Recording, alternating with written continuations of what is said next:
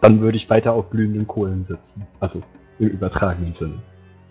Ja, und die restlichen, restliche Zeit würde ich dann auf die anderen warten, wahrscheinlich außerhalb des Tempels. Hm, ja. Weil die Rosenjirne mich ja da im Garten nicht mehr sehen wollen. Ja, das sind ja wie gesagt äh, zwei verschiedene Tempelanlagen. Du hast ja einmal den in Keringard im Süden und du hast einmal den bei Shamiran im äh, Süden ebenso. Das sind äh, einmal der Rosentempel, da hast du dann beschworen und dann haben wir noch den Raya-Tempel und äh, da an dem See werdet ihr euch gerade aktuell aufhalten. Ähm, okay. Ne, also da sind aktuell keine Rosenjinne, aber äh, ja, doch, also die wissen natürlich auch, was du getan hast. Äh, gut, da fehlt jetzt irgendwie eine Left-Hand-Statue. Du hast eine große Spende da geliefert. Das ist den Raya-Geweihten aktuell nicht so wichtig. Also äh, gerade wenn du in Begleitung von Kiaras da rumläufst. Äh, soll die nicht kümmern. Gut, okay. Was tut Iserun in der Zeit?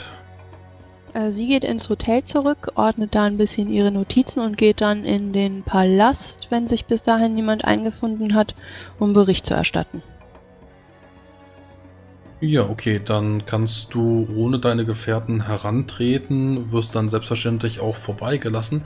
Kannst aber auch erkennen, wie hier am Königstor äh, gesichert von zwei, drei Wachen auch der aufgespießte Kopf von Demiona von Zorgan immer noch äh, verblieben ist und hier dann dem Volke äh, dargebracht wird. Du kannst auch sehen, wie hier wohl einiges äh, an faulen Früchten liegt, die wohl dahinter ja irgendwo neben dem Kopf liegen. Einige matschige Stellen deuten auch an, dass er wohl getroffen wurde. Es geht einfach nur darum, dass jetzt niemand den Kopf abnimmt und damit dann durch die Stadt läuft oder sowas. Deswegen sind die Wachen dann hier. Aber äh, viele Leute haben hier dann auch ihrem Unmut ähm, das Ganze noch mal gezeigt und äh, Sorge dafür getragen, dass, dass das eben auch jeder weiß. Durch das Palastviertel hindurch kannst du dann auch wieder vorbeigehen an dem großen Sternenpalast von Sybia al-Nabab, der ehemaligen Sultaner und dann wirst du auch vorgelassen ohne deine Gefährten im Spiegelpalast von Eleonora und Arcos. Ebenso kannst du erkennen, wie hier wieder viele Visiere sind. Du musst dann noch das ein oder andere Mal ein bisschen warten. Und nach ungefähr einer halben Stunde wirst du dann äh, vorgelassen vor die beiden, die dann dort sitzen. Einige Wachen kannst du erkennen, aber es ist jetzt hier kein, kein großer Anlass. Ähm, deine Waffen, ähm, mit Ausnahme deines Stabes, werden dir selbstverständlich wieder abgenommen. Aber das ist auch wieder nur rein pro forma. Immerhin bist du auch neben ihn schon geritten. Ah, die Helden von El Burum. Ähm, äh, seid mir willkommen. Ball des Lichts. Begrüßt dich Eleonora. Vielen Dank, edle Maharani. Ich komme, um Bericht abzuliefern über das, was in El Burum passiert ist. Stimmt, ihr seid mit äh, Euphemia geritten. Richtig? Wie ist es gelaufen? Richtig. Ähm, es ist gut gelaufen. Die Stadt wurde im Handstreich genommen und die Satrapa äh, ihrer Macht sowie ihres Lebens entledigt. Endlich. Sie war eine besonders widerwärtige Frau. Wir konnten einige Geschichten aus El Burum mit anhören, was sie tat und wenn sie für ihre Verbrechen gesühnt hat, dann ist dies gut. Die Beli Ephemia berichtete, dass sie nun allerlei äh, Beweise einsammeln wollte und damit den Schuldigen den Prozess machen will. Nun, das klingt doch äh, sicherlich sehr aufschlussreich. Wir werden natürlich noch ebenso über sie selbst äh, Gericht halten müssen, aber immerhin wurde sie von meiner Schwiegermutter Sybia selbst eingesetzt als Gräfin und hm, das war kurz vor diesem Umsturz der Thronräuberin. Wir müssen einmal sehen, inwiefern sie vertrauenswürdig ist und inwiefern die Beweise oder Hinweise, die sie uns geben kann, ausreichend sind. Richtig, immerhin ist sie erst vor sehr kurzer Zeit übergelaufen. Sie scheint jetzt wieder nach aranischem Recht handeln zu wollen, aber ich denke, es ist eine gute Idee, sie gerade durch die Kirchen überprüfen zu lassen, dass auch kein Makel an ihr ist. Mhm.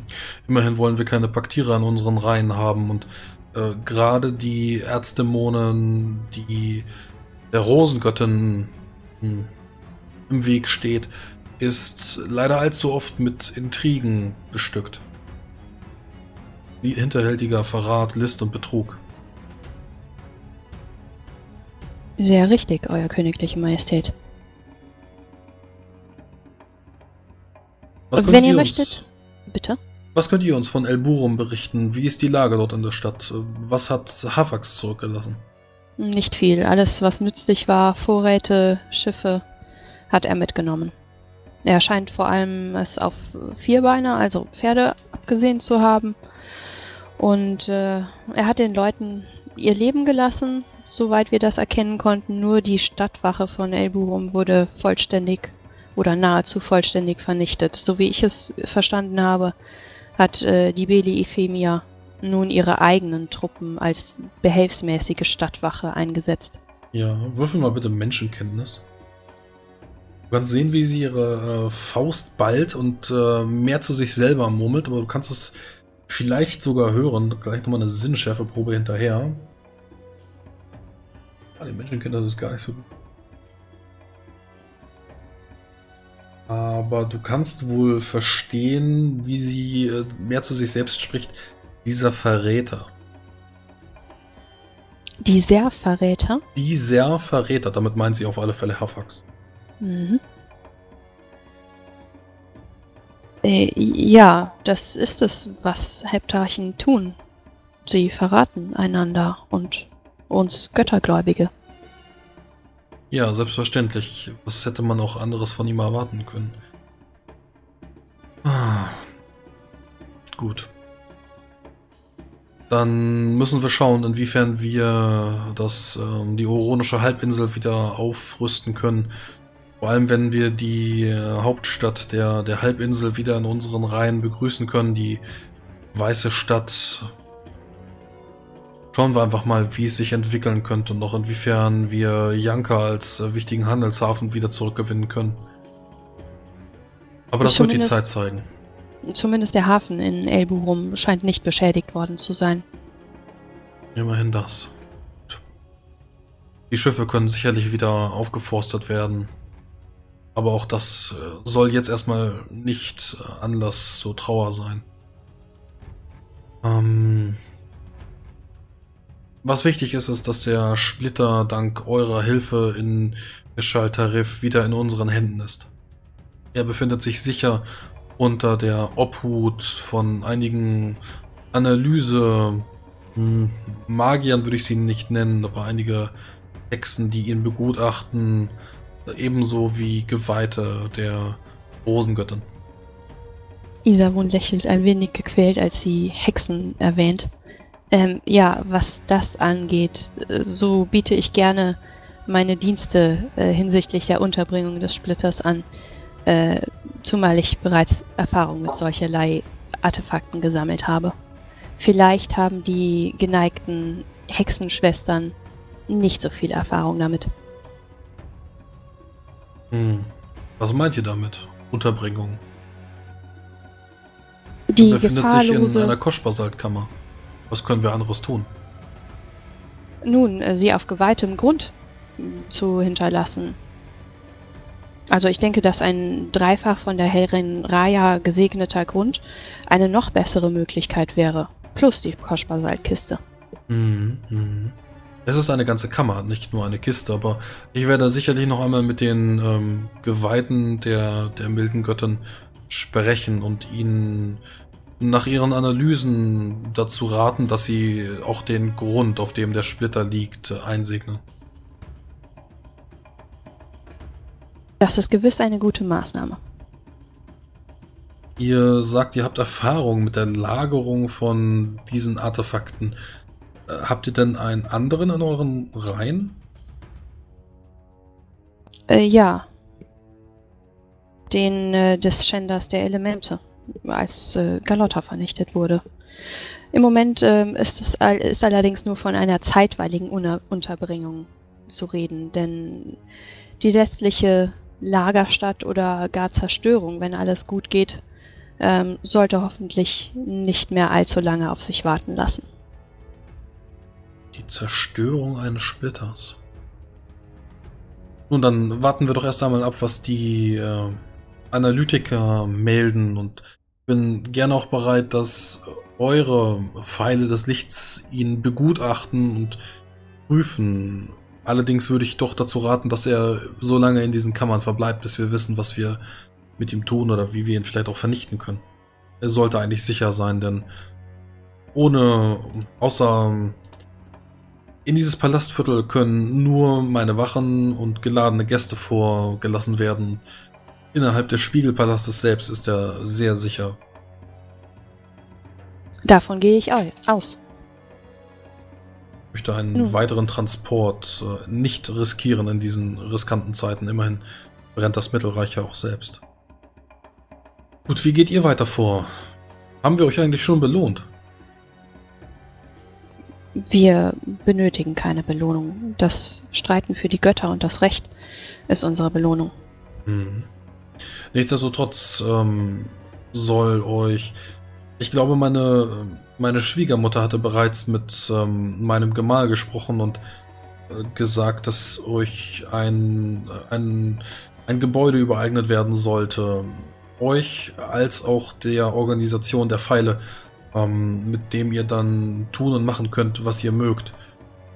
Zumindest dürft ihr es nicht verkaufen oder vermieten oder verpachten, aber ihr könnt äh, umbauen, vornehmen, wenn ihr mögt. Also äh, ihr sollt diese Übereignungsurkunde bekommen. Ähm, ihr hattet ja immerhin danach gefragt, wenn ich richtig informiert worden bin. Äh, das seid ihr. Ich wäre natürlich überaus dankbar dafür. Denn ich denke, ein weiterer Stützpunkt im Kampf gegen die Mächte der Finsternis äh, kann uns allen als Göttergläubigen nur zugutekommen. Nun, also gut, das Gebäude steht so oder so leer und äh, da Sybia sich so erkenntlich zeigen möchte, möchten wir doch diesen, diesen Gefallen tun. Soll ja ein, sollt ja ein Haus für wahre Helden bekommen und damit auch eine weitere, einen weiteren Stützpunkt im Kampf gegen die Umtriebe der Heptarchen hier bekommen. Vielen Dank. Was möchtet ihr als nächstes tun? Möchtet ihr aufbrechen? Möchtet ihr hier verweilen? Ihr bekommt natürlich mit dieser Überschreibungsurkunde auch die Bürgerrechte in Zorgern und dürft natürlich auch mit... Ihr bekommt das Recht, ein Gewerbe auszuüben. Da müsstet ihr natürlich noch einmal mit den Gilden sprechen, aber wenn ihr eigene Gewürze anbauen wollt, euch eine eigene Parfümerie zulegen wollt, all das, was ihr machen könnt, dürft ihr selbstverständlich auch tun. Meinetwegen dürft ihr auch Reitlehrer oder so etwas spielen. Für meine Gefährten kann ich natürlich nicht sprechen. Ähm, derzeit sind meine Pläne tatsächlich dorthin zu gehen, wo man mich am meisten braucht im Kampf gegen die Finsternis. Also gut, dann Falls, tiefer in die fall, schwarzen Lande. Richtig, oder zurück ins Mittelreich. Hm, ich denke, man wird mir Kunde senden, wo man mich braucht. Falls wir noch etwas für Aranien tun können, so zögert es nicht aus auszusprechen. Hm, ich werde mich mit meinen Visieren beratschlagen, ob es noch etwas für wahre Helden zu tun gibt, aber meines Wissens müssen wir uns jetzt viel um Verwaltung kümmern. Wir werden Richter berufen, die dann die vielen Adligen überprüfen, die dann von Ephemia genannt werden im weiteren Verlauf. Und die Filme selbst muss selbstverständlich auch noch geprüft werden, aber das ist nichts, was äh, Helden bedarf. Aber wir werden uns an euch und eure Gruppe wenden, wenn wir weitere Probleme haben. Ich hoffe natürlich nicht, dass es dazu kommt, aber für den Fall der Fälle werden wir natürlich an eurer Seite stehen. Vielen Dank. Wenn ihr mögt, werde ich noch euren äh, Visieren einen genauen Bericht abliefern. Ansonsten würde ich mich gerne zurückziehen, wenn ihr erlaubt. Sie selbst wird wohl nicken und ähm, hat wohl keine weiteren Fragen. Du kannst aber sehen, wie Arkos kurz einmal seinen Finger hebt und äh, dich ja bedauernd ansieht. Sagt hübsche Blume, was beklagt euch? Ihr seht aus, als ob euch ein Grimm im Nacken sitzt. Oh, es ist nicht, was euch bekümmern müsste, euer königliche Majestät. Hm. Ich kümmere mich natürlich auch gerne um meine Mithelden bzw. meine Mitbürger. Um jetzt, wo ihr Bewohner von Zorgan seid und eine eigene kleine Villa euer Gut heißt, Es hätte ja sein können, dass ich euch irgendwie helfen kann. Das ist wirklich überaus freundlich von euch und ich weiß das wirklich zu schätzen. Ich denke aber, es liegt allgemein an diesen schwierigen Zeiten. Wo soll man oder wie soll man zur Ruhe kommen, wenn überall um einen herum schlimme Dinge passieren? Da sagt ihr gar weise Worte. Ich danke euch für euer Verständnis. Ja, er senkt dann auch seinen, seinen Zeigefinger und äh, nickt dir zu, entlässt dich damit eben auch. Du kannst dann noch ungefähr eine Stunde dann mit den Visieren sprechen und dann ein genaues Lagebild geben, bekommst dann natürlich auch noch ein paar Karten, ähm, inwiefern ihr dann ähm, ja die Stadt dann einschätzen könnt. Gut, du sagtest, die Stadtwachen selbst sind dann auch äh, getötet worden. Die Femia sitzt dann mit ihren eigenen Leuten dort. Also das, was Chiara sagt, könnte natürlich schon sehr, sehr richtig sein, dass sie sich da jetzt selbst intronisiert hat und die nächste Heptarchin wird, wird die Zeit zeigen, ob es dann eben der Fall ist und sie dann mit äh, 200 Leuten bzw. 150 Leuten so eine Stadt halten kann.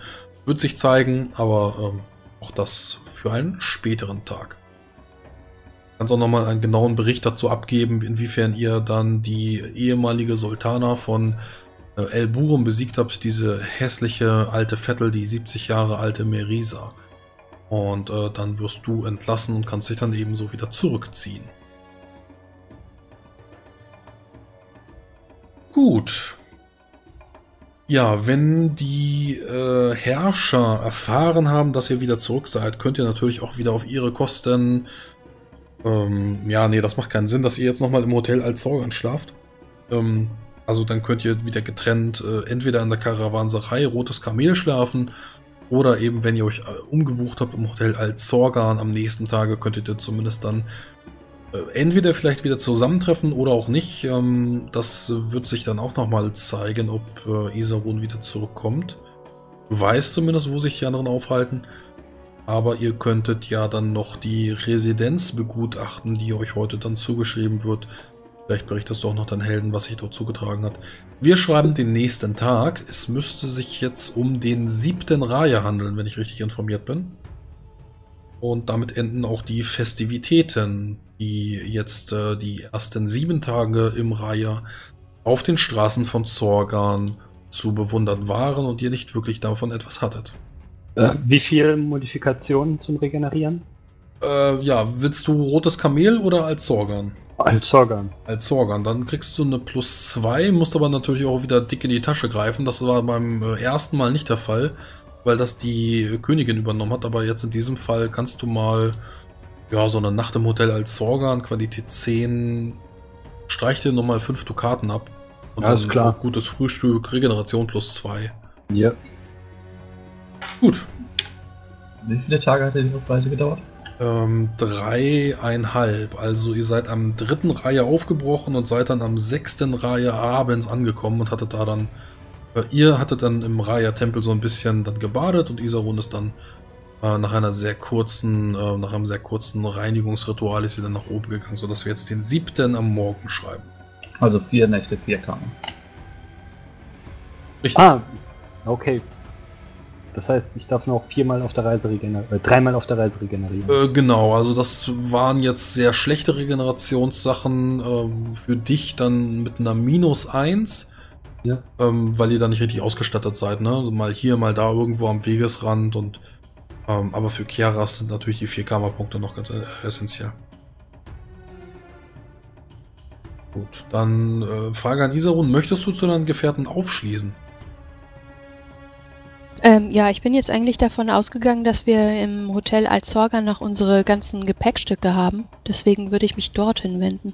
Gut, dann werden die anderen sicherlich auch noch irgendwie ihre Überbleibsel auch dort nach dem Frühstück im Roten Kamel können sich dann auch dort dann wieder versammeln, um ihre ja, einzelnen Gepäckstücke wieder zu sammeln. Um, ähm, und dann, ja, in so einem kleinen Seminarraum oder sowas, der euch da zur Verfügung gestellt wird, könnt ihr dann beratschlagen und bereden. Auch wenn Iseruns Laune, ja, vielleicht ein bisschen besser ist. Iserun, was hat, was haben die, die Herrscherin gesagt? Äh, sie sind natürlich sehr dankbar, dass wir bei der Beschaffung des Splitters geholfen haben und äh, waren auch über den Bericht aus Elberum dankbar. Mh, hm, dass dieser Trapper gefallen ist, schien auf Begeisterung zu stoßen. Und äh, wie mit dieser selbsternannten Beli oder was auch immer sie ist umgegangen wird, äh, das wird sich wohl noch zeigen. Also so wie ich es verstanden habe, soll ihr noch ein Prozess gemacht werden, weil sie ja äh, Oron angehört hat. Was ist mit dem Splitter? Der befindet sich in einer Koschbasaltkammer unter dem Spiegelpalast. Was jetzt von ihr? irgendwelchen Hexen analysiert. Ähm, hält dieses Koschbasalt dem Splitter stand? Ja, zumindest für eine gewisse Weile. Denke, Wir haben keine äh, Informationen über eine längere Analyse, weil der Splitter, der in unserer Gewalt in Gareth ist, dort noch nicht sehr lange ist. Mhm. Hm. Hm. Also, was machen wir denn jetzt? Oh. Ach ja, und wir bekommen so ein, eine Residenz hier in Zorgan und die Bürgerrechte. Ach, interessant. Aha, Oh je. ja gut. Ähm, Habt ihr diese Residenz schon gesehen? Nein? wollt ihr jetzt wieder eine Haushälterin einstellen? Ah, wahrscheinlich will er das. Ja, Nein, ich denke nicht. Wir sollten erstmal die, die Räumlichkeiten überprüfen, ob sie angemessen sind. Aber wir haben noch nicht mal eine Villa eingerichtet. Jetzt haben wir noch. Na, das wird so viel Geld kosten. Aber mir, ihr seid doch eh vermutlich nie wieder in Zorgan. Könnten wir diese Villa nicht einfach Villa sein lassen? Es ist ein Geschenk. Es wäre ein, ein Straf, straflässige Vernachlässigung äh, dieses Geschenks, eine Beleidigung der Herrschaften. Ja, leider hat er recht. Wir dürfen sich nicht einfach verkommen lassen. Ein Geschenk, das Arbeit macht. Ich weiß nicht, ob das so ein tolles Geschenk Arbeit ist. macht und sehr, sehr viel Geld kosten wird. Ja. Oh, was für ein Geschenk. Hätte man uns nicht einfach irgendwas Praktisches geben können?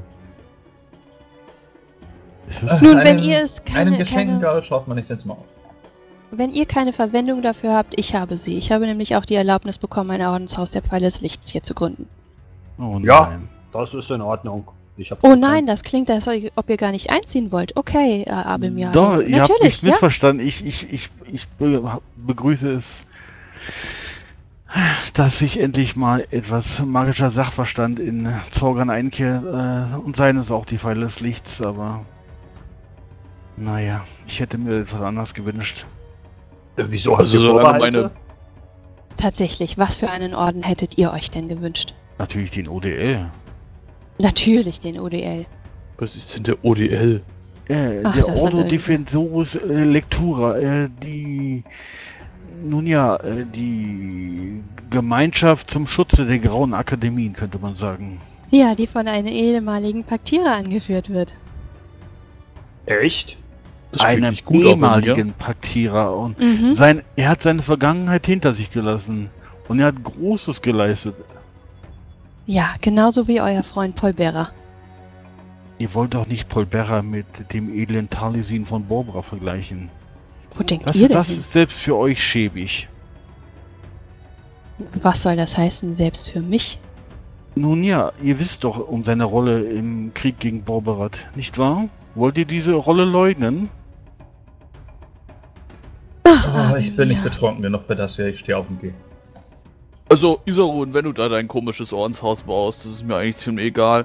Aber ich hätte schon gerne, dass meine Brüder und Schwestern, wenn die mal in Zorgan sind, da schlafen können. Also Ja. so einen Raum bräuchten wir schon.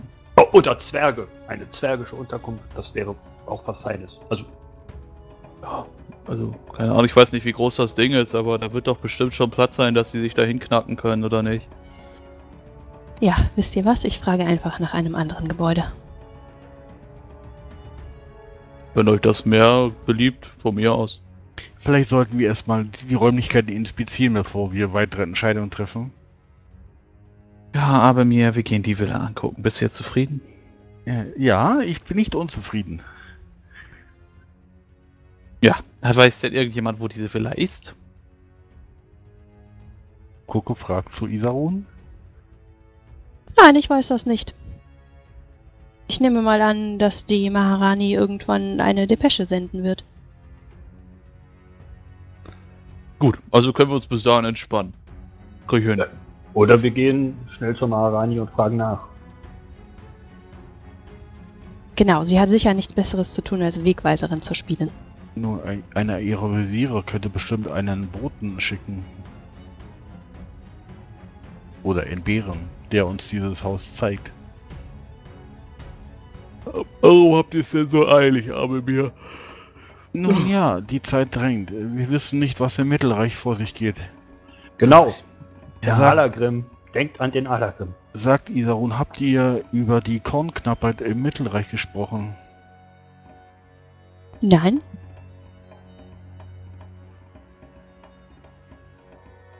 Ja, die müssen ja auch nichts essen.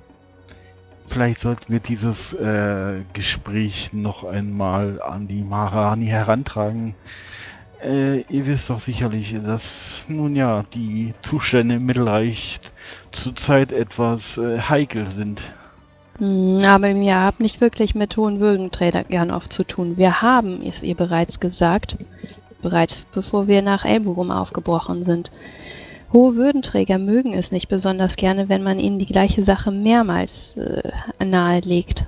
Das könnten sie als Belästigung empfehlen und ihre ursprünglich gegebene Zustimmung wieder zurückziehen.